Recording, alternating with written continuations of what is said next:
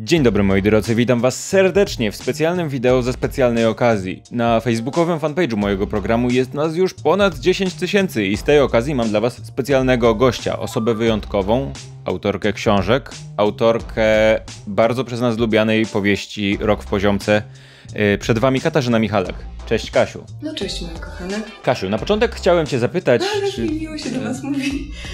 Do, dobrze, Kasiu, dobrze. Y, Na początek chciałem Cię zapytać, jak podobały Ci się ostatnie odcinki mojego programu? Tak mnie zmęczyły te dramatyczne ostatnie tytuły. No dobra, ale obejrzałaś wszystkie? Jak zaczęłam to... No rozumiem, wiele osób reaguje podobnie. E, ale słuchaj, powiedz mi tak, gdyby ktoś Cię zapytał, Kasiu, kim jest Paweł Opydo, to jak byś odpowiedziała? To jest tak pozytywna postać, ona jest taka ciepła, taka kochana, naprawdę ją polubiłam. Dobra, ale dosyć o mnie. Podobno od dawna czekałaś na okazję, żeby pojawić się na moim kanale. Bardzo czekałam. A czy spodziewałaś się, że dostaniesz własną serię w moim programie?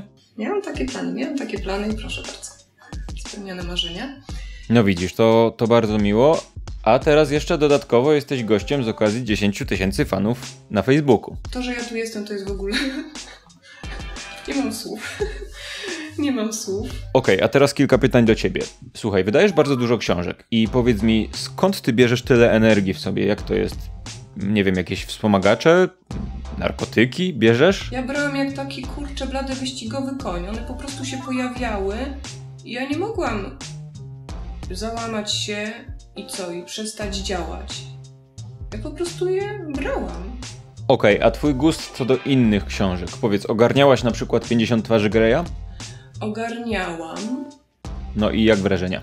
Załamałoby naprawdę silniejszą osobę. Okej, nie będę ci zabierał więcej czasu. Dziękuję ci, Kasiu, za tę rozmowę. Może, może kiedyś o niej napiszę. Może lepiej nie? Ale dzięki, że wpadłaś, dzięki za rozmowę i Wam dziękuję za oglądanie. Do zobaczenia.